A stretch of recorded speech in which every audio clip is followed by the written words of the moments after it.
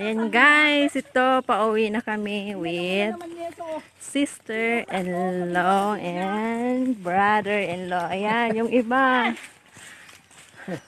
Nasa hulihan. Ayan, si Ate Lourdes. Ang dami na namang dalang halaman. Pangtanim. Ayan. Masitas naman kami. Ito yung, ito yung ano niya, yung lupa niya. Dito daw siya magtatayo. Dito daw siya magtatayo ng bahay pag uwi niya. Tsaka magtatanim. Ayan. Dito guys.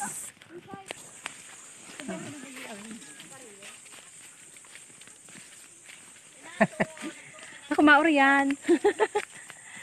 Ayan guys, dito daw yung ano, yung dating bahay nila. Dito daw siya lumaki.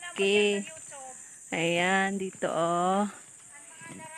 And then, ito yung kalupaan niya. Malawak din to guys. Kaya pag umuwi siya, maganda siya, maganda dito kasi um, free ka magtanim ng kung ano-ano.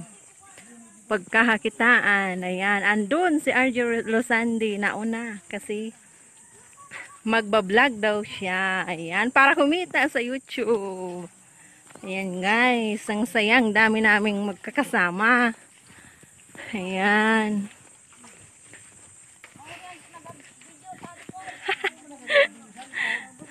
Ayan guys. Yun, minsan, minsan na lang ako nagkakapunta dito. Pero nung nandito pa si Ray Manrix, ayan lang. Di ba pala, para, palagi tayo nandito. Ayan. Kasi, um, nililinisan yung lupa niya. Ayan, kasi madam mo. Ayan guys, papauwi na kami. Yung dalawang bagets, ayun, ayan, nandun pala oh. Ayan, medyo maputik. Ayan. Ayan guys, hindi natin alam kung saan papunta. Hindi, joke lang. Actually, pupunta daw si RJ doon sa lupa niyang uh, tatayuan ng manukan.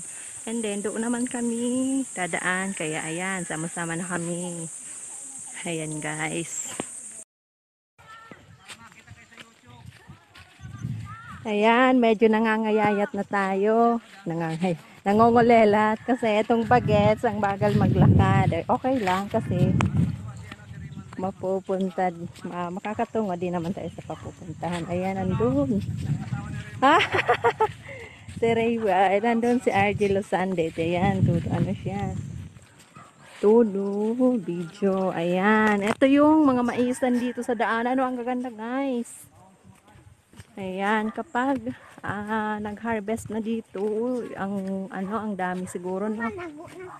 Ah, kasi ang lawak ng taniman ng mais. Ayan, medyo nangongolelat na tayo. Pero okay lang.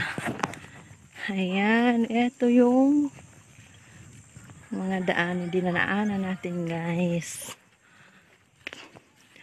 Patungo sa hacienda di Manrique. Ayan, charot.